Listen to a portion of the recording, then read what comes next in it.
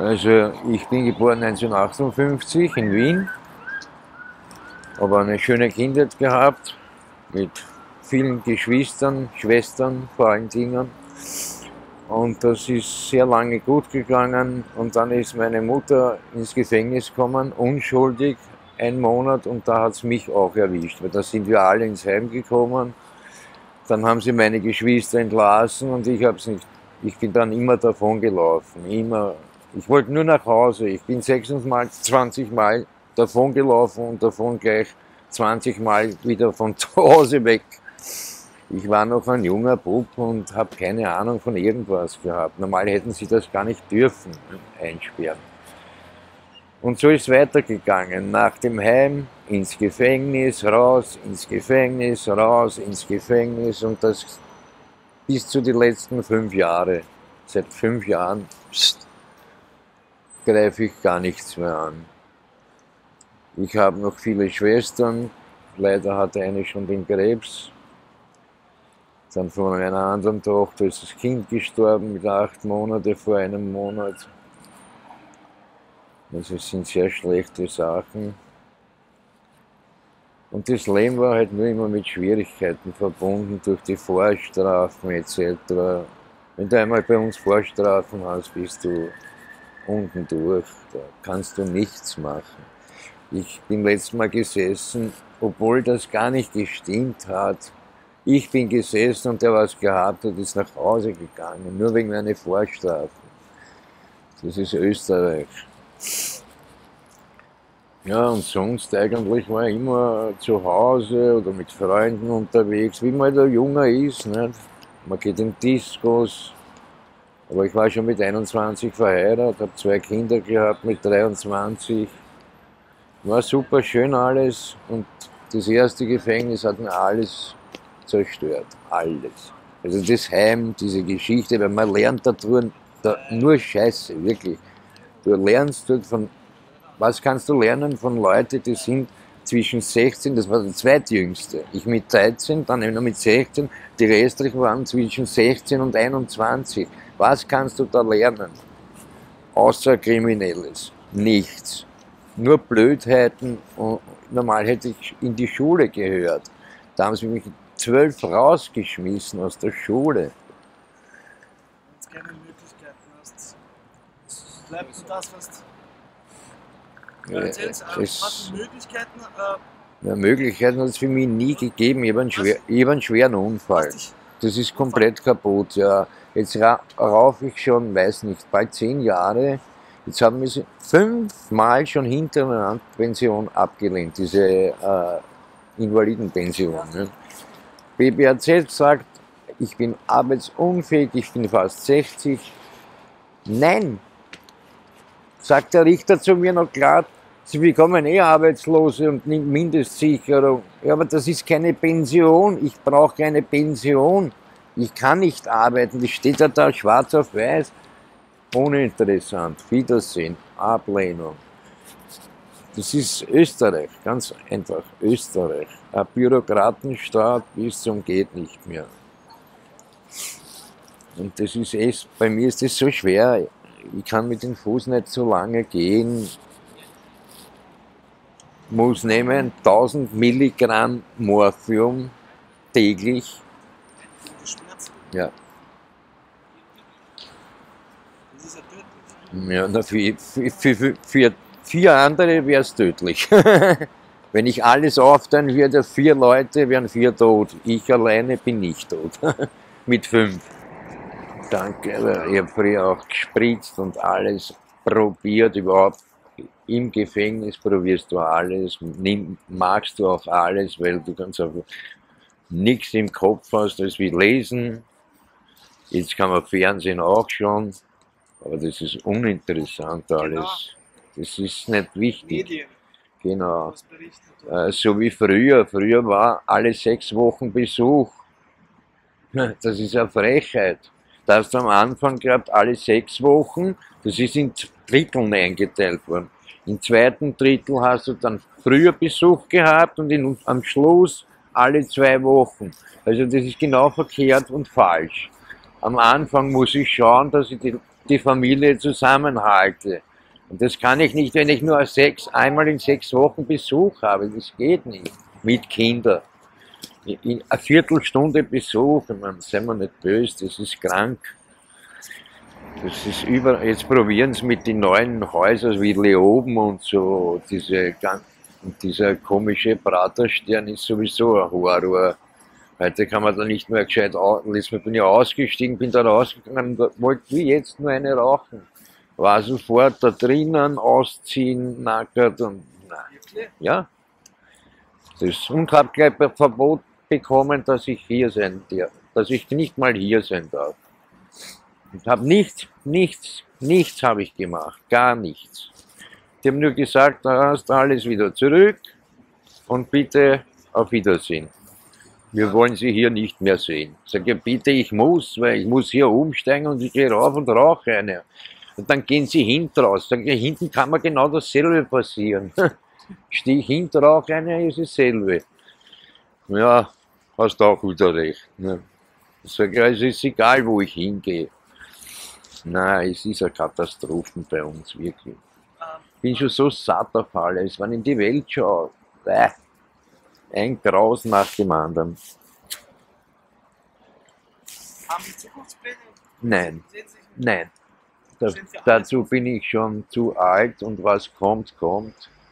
Ich habe mir früher schon, wenn ich einmal 60 wäre, bin ich zufrieden. Alles andere, was drüber ist, ist Bonus. Ich bin auch relativ krank. Also es gibt nichts mehr. Es, A nimmt mich niemand. Wer nimmt dich mit 20 Jahren und null mit ich habe keine Ahnung von irgendeinem Beruf. Keine. Also wer nimmt mich? Kein Mensch. Nicht einmal zum Straßenkehren.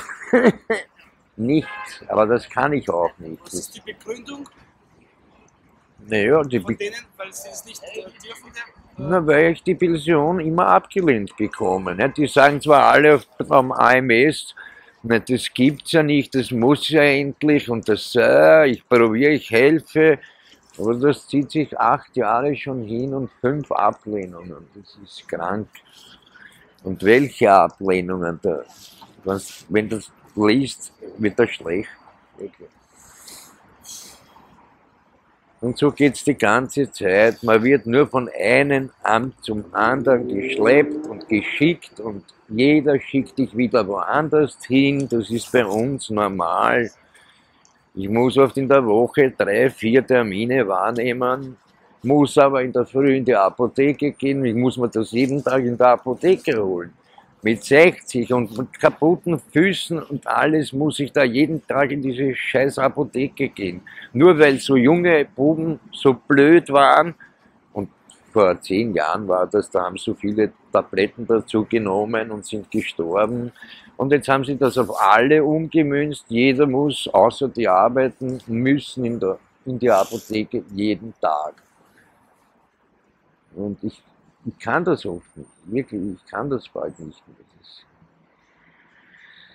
ich glaube, das ist alles so einfach. Das, und mit diesem Geld, was ich bekomme, wird man sowieso schlecht. 480 Euro im Monat. Das, wer kann sich das, wer kann da leben? Wer kann da, meine Wohnung kostet zwar nur 100, äh, 256 oder 58, dann habe ich mit Strom, sind 300 einmal weg. Und dann bleiben mir noch ja, 400 und etwas.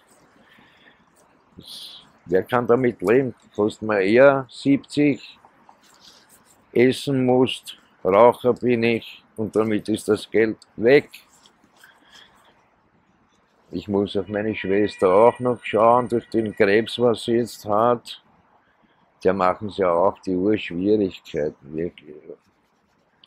Die dann so einen bösartigen Krebs und die haben das bis vor kurzem nicht ein bisschen abgestoppt. Wirklich, nicht ein bisschen. Und da ärgerst du dich grün und blau, so wie mein Arzt, der sitzt dort wie der Lord Bumsti. Im Anzug, gibt dir nicht die Hand und das ist normal heute.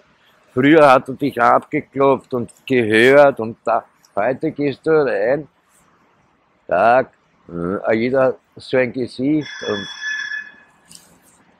wenn ich ansage, bekomme ich das und kann schon wieder gehen, das war's. Und so ist das jedes Mal und jedes Mal. Und wenn ich zu spät komme, muss ich 10 Euro zahlen. Das ist das Ärgste. Das gibt's nirgends. Das nur meiner verlangt 10 Euro. Nimmt die 10 Euro, schiebt die unter sein, wo er seine Maus hat, schiebt es da runter und, und ich zahle meine 10 Euro, weil ich einen Termin verpasst habe. Weil ich nämlich ein Problem habe mit Kurzzeitgedächtnis mittlerweile. Erzählst ruhig alles. Weil ich habe lang, ich auch seit meinem 16. Lebensjahr Haschisch. Ne? Das greift natürlich ein bisschen das Kurzzeitgedächtnis an. Überhaupt, wenn man geraucht hat, hat man manchmal so einen Schub. Da redst du über was und weißt das nicht mehr. Aber trotzdem, es hat mich weggebracht von den ganzen Dreck. Ich habe kein Heroin mehr genommen seit ewigen Zeiten, kein Kokain, nichts mehr. Also für mich war die Substitution in dem Fall, ist sie mit, mit dem Gift und dem Fuß ideal. Ich habe nicht so Schmerzen, die wollen mir auch operieren. Die können nur schmerzfrei operieren. Ne? Und der hat mir das gesagt, er schneidet hier und hier, damit der Fuß so aufgestellt wird, dann habe ich einen rollenden Gang. Sage ich, auf Wiedersehen. Sag ich, lass mir nicht meine Beine zerschneiden und dann kann ich vielleicht überhaupt nicht gehen. Sage ich, nein, danke, sage ich, das brauche ich alles nicht. Sage ich, ich werde mit den sterben und aus. ja, operieren, das hätte gleich operiert gehört wie vor 10, 15 Jahren. Aber da haben sie mich nicht operiert, weil sie gewusst haben, ich fahre ins Landesgericht, äh, ich fahre ins Landesgericht, bringt den am nächsten Tag. Am nächsten Tag war es spät, weil ich so einen Fuß gehabt habe da kann man nicht operieren. Und somit habe ich sechs Monate Gips oben gehabt, den habe ich mir runtergerissen. Oh Scheiße, wirklich, oh Scheiße. Und das ist natürlich nicht besser geworden, das ist schlechter. Ich sollte seit 20 Jahren mit Krücken gehen, dann tue es nicht. Ich würde mir viel, viel mehr, weniger Parteien wünschen, so wie die FPÖ, die hat nichts zu suchen. Ich bin politisch schon ein bisschen engagiert. Es interessiert mich total überhaupt Geschichte, alles was interessant ist und das schaue ich oder lese ich durch. Also ich bin sehr interessiert an allem. Es gibt fast nichts, wo ich sage, das wäre uninteressant oder sonst etwas. Aber wie gesagt, es sind so viele Nebenprobleme, dass das nur leider kurze Momente sind im Leben. Ich lebe nur mehr so dahin.